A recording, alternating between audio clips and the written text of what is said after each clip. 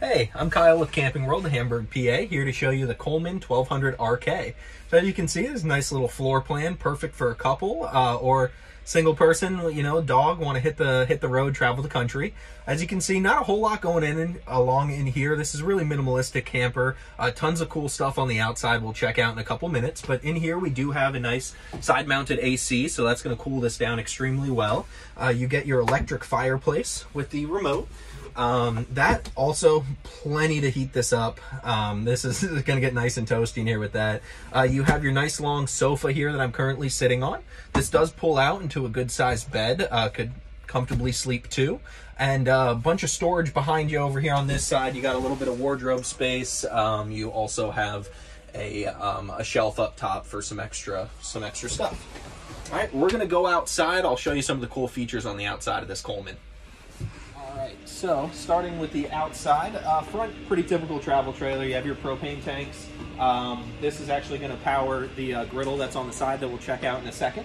Uh, fiberglass siding, always nice to see on a, on a uh, travel trailer. Um, we do have the griddle here. Don't worry, this one is brand new, uh, just from packaging. Uh, they coat this in an oil, uh, got a little bit stained on there, so we just got to clean that up. But this is brand new. Um, this is what feeds off of the propane tanks out front. You have a little hose here that uh, connects into the quick connect to power that. Um, I also missed an outlet on the outside there, so if you want to set up a little outdoor uh, TV, there is a spot for a TV uh, that you might have missed. I was kind of blocking it, um, but in the inside you can also mount a TV in there too. Now around back, this is probably the coolest part about this uh, coach, uh, the rear kitchen aspect of it. Nice big refrigerator here easily get away with a good weekend or a week camping if it's just you or, or you and the significant other. Get your outdoor sink, some extra storage here. You do also have a um, an outlet here for coffee maker, griddle, that sort of thing, you know, toaster. Um, and then uh, it does come with a uh, hose for the spray port that we'll check out on the other side. You also have some um, tank levels back here, so you can check all the levels of your tank, check your battery levels, um, or turn on and off your water pump there. Right, on this side, just our regular connections like you'll find on most travel trailers. Here's that spray port I was telling you about. Plug right into there, give the dog a bath, you know, rinse off your feet at the beach, that sort of thing.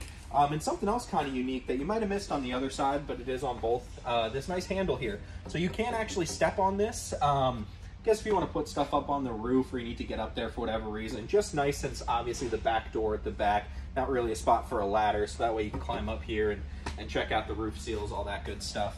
And then a nice big pass-through storage here with the um, with the magnet to hold it up so you're not breaking those little clips. Um, but decent sized storage, put some extra stuff um, when you're traveling. All right, and pretty much that concludes the Coleman 1200 RK. If you're interested in this model or a similar camper, give us a call. Again, my name's Kyle. You can reach us at 610 396 3424. Have a great day.